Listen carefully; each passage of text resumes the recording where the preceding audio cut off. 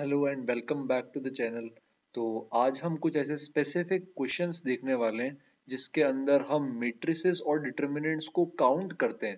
तो counting in the sense आपके पास कुछ डेटा अवेलेबल होता है, और आपको ये बताना होता है कि ऐसी कितने मेट्रिसेस एग्जिस्ट करती है जो इस कंडीशन को सेटिस्फाई करती है ओके तो हम फ़र्स्ट क्वेश्चन से स्टार्ट करेंगे। है ना? तो आप एक बार पॉज करके क्वेश्चन को खुद से अटेम्प्ट करें और फिर हम उसे ट्राई करेंगे। और इस तरह के क्वेश्चन में आप मैट्रिक्स अज्यूम कर सकते हो वेरिएबल फॉर्म में। जैसे टू क्रॉस टू की मैट्रिक्स को आप ए बी सी डी ले सकते हैं। थ्री क्रॉस थ्री की मैट्रिक्स को आप A B C D E F G H I इस फॉर्म में ले सकते हैं और उससे कुछ ना कुछ मीनिंगफुल बिल्ड कर सकते हैं equations relations and so on तो फ़र्स्ट क्वेश्चन के अंदर हमारे पास थ्री क्रॉस थ्री मैट्रिक्स है ए तो आप ए मैट्रिक्स को मान सकते हैं। A B C D E F G H I A transpose जो है, जो इसका ट्रांसपोज है, इसमें रोज जो है, वो कॉलम्स की जगह आ जाएँगे। तो ये इस तरह से हमारे पास ए ट्रांसपोज बन जाएगा। और ये बोल रहे हैं कि ये जो ए ए ट्रांसपोज का प्रोडक्ट है, इसमें डायगनल्स पर जो एलिमेंट्स हैं, इनका सम जो है, ये नाइन के बराबर है। तो डायगनल वाले एलिमेंट्स कौन से होंगे? जब फ़र्स्ट रो फ़र्स्ट कॉलम से मल्टीप्लाई होगा, जब सेकेंड रो आपका सेकेंड कॉलम से मल्टीप्लाई होगा, और जब आपका थर्ड रो थर्ड कॉलम से मल्टीप्लाई हो जाएगा। तो इसमें डायगनल एलिमेंट्स में आपके पास क्या आएगा? जब ये एबीसी वाली फ़र्स्ट रो एबीसी की फ़र्स्ट रो से मल्टीप्लाई होगी तो फ़र्स्ट रो फ़र्स्ट कॉलम का element A square B square C square ये डायगनल का पहला एलिमेंट होगा। सेकेंड रो जब सेकेंड कॉलम से मल्टीप्लाई होगी तो यहाँ आपके पास D square E square F square ऐसा आएगा। ये ए ए ट्रांसपोज वाले डायगनल एलिमेंट्स के सम वाले काफ़ी क्वेश्चंस आ चुके हैं एडवांस और मीन्स में। इसी तरह ये जब G H I third row third column से मल्टीप्लाई होगी तो लास्ट में G square H square I square का सम आएगा। अब यहाँ पर आपको डायगनल पे जितने भी एलिमेंट्स हैं, इन सब का सम पूछा है तो ये कुछ इस फॉर्म में बन जाएगा। A square plus B square C square D square से लेकर आई स्क्वायर तो ये नाइन एलिमेंट्स है जिनके स्क्वायर का सम आपके पास नाइन के बराबर आ रहा है, और आपको बनाने के लिए यूज़ क्या करना है? ज़ीरो वन टू या थ्री तो अगर आप जैसे केसेस लेंगे यहाँ पे तो पहला केस में क्या हो जाएगा कि एक थ्री आ जाए और बाकी एट टाइम्स आपके पास क्या आ जाए? ज़ीरो तो थ्री का स्क्वायर नाइन हो जाएगा और ज़ीरो का स्क्वायर एट टाइम्स ज़ीरो आ जाएगा। तो यहाँ पर अब हमें ये डिस्ट्रीब्यूट करना है। ए से लेकर आई तक नाइन अलग अलग प्लेसेस है हमारे पास। तो हम यहाँ उसमें से एट तो क्या है? आइडेंटिकल तो क्या कर लेंगे? Nine factorial upon eight factorial क्योंकि ये एट ज़ीरो आइडेंटिकल है। इसी तरह अगर आप केस टू पे आएँगे तो केस टू के अंदर अब आप क्या कर सकते हैं? जैसे थ्री नहीं है, आपके पास टू है। तो आप यहाँ पर जैसे दो टू यूज़ कर सकते हैं टू टू और साथ में one two square four two square four और वन स्क्वायर क्या होता है? वन और बाकी सिक्स प्लेसेस पर आपके पास क्या आ जाएगा? ज़ीरो तो ये हो जाएगा नाइन फैक्टोरियल सिक्स फैक्टोरियल क्योंकि छह बार ज़ीरो आ रहा है और दो बार टू आएगा। टू टाइम्स आ रहा है टू तो टू फैक्टोरियल तो ये सेकंड केस हो गया। इसी तरह और केस आप क्या बना सकते हो कि नाइन एलिमेंट्स के स्क्वायर का सम अगर नाइन के बराबर आए और element zero one two three में से ही है, एक बार टू आ जाए टू स्क्वायर क्या होता है? फोर पाँच बार वन आ जाए, one, two, three, four, five. Five times आ रहा है तो अब सम नाइन हो गया। पीछे अभी भी आपके पास क्या होगा? थ्री प्लेसेस बचेंगी, वहाँ पे हम क्या कर देंगे? ज़ीरो को रख देंगे। ऐसा कर सकते हैं हम यहाँ पर इस तरह से। तो इनका स्क्वायर का सम नाइन आ जाएगा तो nine factorial zero three times आ रहा है और वन फाइव टाइम्स आ रहा है। और लास्ट मेथड के अंदर आपके पास क्या होगा? जब टू भी नहीं है थ्री भी नहीं है तो सारे वन लेने पड़ेंगे। तो नाइन प्लेसेस है, सारी नाइन प्लेसेस पे वन ले लेंगे। ज़ीरो टू थ्री कुछ नहीं nine factorial by nine factorial तो ये जो हमारे पास यहाँ फोर केसेस आए हैं, इन सब केसेस को ऐड करके वैल्यू निकाली जा सकती है।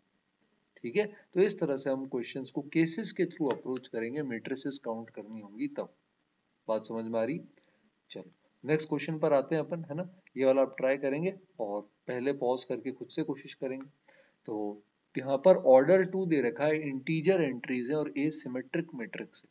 तो टू क्रॉस टू की एक सिमेट्रिक मैट्रिक्स है तो इसके अंदर क्या होगा? जैसे इधर ए आ रहा है, इधर बी आ रहा है।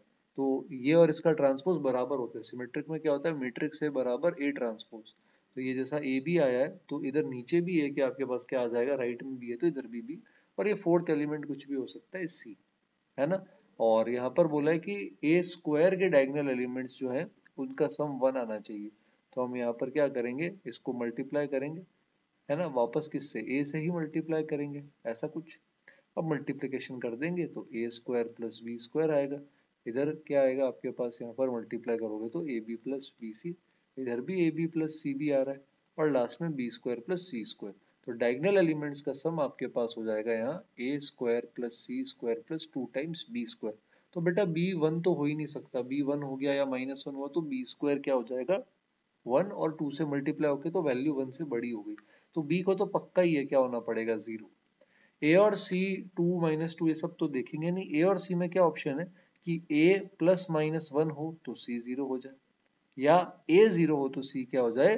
प्लस माइनस वन तो टू चॉइसेस हमारे पास ए के लिए मिल रही है, उस वक्त टू हमें सी के लिए मिल रही है, और बी के लिए हमारे पास कोई चॉइसेस नहीं है। टोटल हमारे पास फोर केसेस आ जाएँगे। आई होप आपको ये बात समझ में आई है। तो plus one zero zero minus one zero zero zero one zero और ज़ीरो माइनस वन ज़ीरो, ये फोर केसेस पॉसिबल है। इजी है, मुश्किल नहीं है, बस केसेस बनाने की प्रैक्टिस धीरे धीरे आपको करनी पड़ेगी, है ना? नेक्स्ट पे आ जाते हैं। तो यहाँ पर आपके पास ए मैट्रिक्स दे रखी है और आपसे पूछा है कि A transpose A three times I three I three यानी आइडेंटिटी मैट्रिक्स थर्ड ऑर्डर का। यानी ये क्या हो जाएगा? आई थ्री क्या होता है? One zero zero zero one zero zero zero one three से मल्टीप्लाई करेंगे तो क्या आएगा? Three zero zero zero three zero zero zero three ऐसा कुछ। तो अब पहले ए ट्रांसपोज लेते हैं। ए ट्रांसपोज में क्या कर देंगे? यहाँ से अगर हम ए ट्रांसपोज बना रहे तो ये आ जाएगा zero two Y one two X Y minus one और two X minus Y one ये ट्रांसपोज ए के साथ मल्टीप्लाई होगा तो कुछ इस तरह से दिखेगा हमें। तो हम यहाँ ए ट्रांसपोज निकाल लिया है। अब हमने यहाँ पर क्या कर दिया है? ए भी निकाल दिया। अब मल्टीप्लाई कर लो। तो मैं मल्टीप्लीकेशन डायरेक्ट लिख देता हूँ zero into zero two X into two X two X into two X तो ये वाली फॉर्म कुछ ऐसी आ जाएगी first element four X square जैसे। फिर आपके पास यहाँ पर कैसा आ जाएगा? ये करने के बाद zero into two Y two X into Y two X into minus Y अपने आप ज़ीरो इसी तरह zero into one two X into minus one two X into one I hope multiplication आपको आता है ना? तो आप यहाँ पर जब मल्टीप्लीकेशन करोगे तो आपके पास इस तरह से फॉर्म आती रहेंगी। तो आपको यहाँ पे मल्टीप्लाई करना है और ये मल्टीप्लीकेशन हम आगे भी करते रहेंगे तो आई थिंक ये सिक्स वाई स्क्वायर आ रहा है और ये वापस ज़ीरो आ जाएगा और ये भी ज़ीरो आ जाएगा और इसके केस के अंदर ये भी ज़ीरो आ जाएगा और यहाँ पर वन माइनस वन कुछ ऐसी फॉर्म आ रही है। तो आपको यहाँ पर टोटल मेट्रिसेस बतानी थी, ऐसी कितनी मेट्रिसेस पॉसिबल है। तो यहाँ फोर एक्स स्क्वायर अगर कैलकुलेशन सही है तो थ्री आ रहा है और सिक्स वाई स्क्वायर भी थ्री आ रहा है। और ये वन नहीं सॉरी ये थ्री था कैलकुलेशन में। और बाकी सारी चीज़ें मैच कर रही तो एक्स यहाँ से plus minus root three by two आ रहा है और वाई यहाँ से plus minus one by root two तो एक्स की भी टू चॉइसेस y की भी टू चॉइसेस तो टू इंटू टू कितने मेट्रिसेस बन सकते हैं? टोटल फोर मेट्रिसेस है ना? एक्स के साथ root three by two Y के साथ one by root two X के साथ root three by two Y के साथ minus one by root two X के साथ minus root three by two Y के साथ वन बाई रूट टू और दोनों का नेगेटिव ऐसा। तो आई होप अब आपको धीरे धीरे आइडिया लगने लगा है कि हम किस तरह से इनको अप्रोच कर सकते हैं। बात समझ में आ रही है मैं चलो, अगला देखते हैं। तो ये ट्राई करेंगे। बी मैट्रिक्स ऐसी कितनी है सच दैट ए बी और बी ए बराबर हो और बी की entries one two three four five से आएँगी। तो वो बी मैट्रिक्स आप मान लो। तो जैसे आपके पास ए मैट्रिक्स ऐसी है zero one zero one zero zero zero zero one B matrix कुछ ऐसा मान लेते हैं। A B C D E F G H I तो बोल रहा है, ये मल्टीप्लीकेशन करें। चाहे ये मल्टीप्लीकेशन करेंगे, बात क्या आनी चाहिए? बिल्कुल सेम आनी चाहिए। वैसे हमें पता है जनरली मैट्रिक्स मल्टीप्लीकेशन कम्यूटेटिव नहीं होता बट कुछ ऐसी केसेस रिस्ट्रिक्शन के अंदर ये चीज़ ट्रू होती। तो अब आप मल्टीप्लाई कर सकते हैं ना मैट्रिक्स मल्टीप्लीकेशन आता है आप सभी को। तो ये कुछ ऐसा बन जाएगा D E F A B C G H I ये एल एच एस आ जाएगा। आर एच एस अगर आप लेंगे तो आपके पास इसके केस में यहाँ पर आ जाएगा बी, इसके केस के अंदर ये ढंग से लिख देता हूँ मैं बी ए सी ऐसा कुछ। इधर आपके पास आ जाएगा ई डी एफ़ और एच जी आई अब आप यहाँ बराबर कर देंगे। तो यहाँ पर अगर आप बराबर करेंगे तो आपके पास क्या आएगा? जैसे आप इक्वेट करें तो D बराबर बी आ रहा है दोनों जगह से। आप देख पा रहे हैं डी बी बराबर डी क्योंकि दो मैट्रिक्स बराबर है तो हर पोजीशन पे जो एलिमेंट्स है वो बराबर होने चाहिए। तो क्योंकि हर पोजीशन पे एलिमेंट्स क्या होने चाहिए आपके पास? बराबर होने चाहिए, इसलिए यहाँ पर फ़र्स्ट वाले को फ़र्स्ट से इक्वेट कर रहे हैं सेकंड को सेकंड से थर्ड को थर्ड से। तो अगर आप ध्यान से देखोगे इसमें तो डी और बी बराबर आएँगे एफ़ और सी भी बराबर आएँगे ई e और ए भी बराबर आएँगे, और जी और एच भी बराबर आएँगे। आई कुछ भी हो सकता है। तो आई को चूज़ करके कि आपको एलिमेंट्स यहाँ पर वन से फाइव में से ही लेने हैं। तो आई को चूज़ करने के लिए आपके पास कितने तरीके हैं? फाइव अब मान लो बी है तो बी को चूज़ करने के लिए भी फाइव तरीके, पर डी उसके बराबर होगा तो अलग से मत देखो। सी के लिए भी फाइव तरीके एफ़ बराबर है तो उसका अलग से मत देखो। ए के भी फाइव वेज एच के भी फाइव वेज जी उसके बराबर है तो अलग से नहीं देखेंगे। तो ए ए बी सी एच और आई चूज़ करने के five into five into five into five five की पावर फाइव यानी three one two five ways है। ये फिक्स करेंगे तो डी एफ़ ई जी अपने आप फिक्स हो जाएँगे। तो ये भी बहुत इंटरेस्टिंग क्वेश्चन था।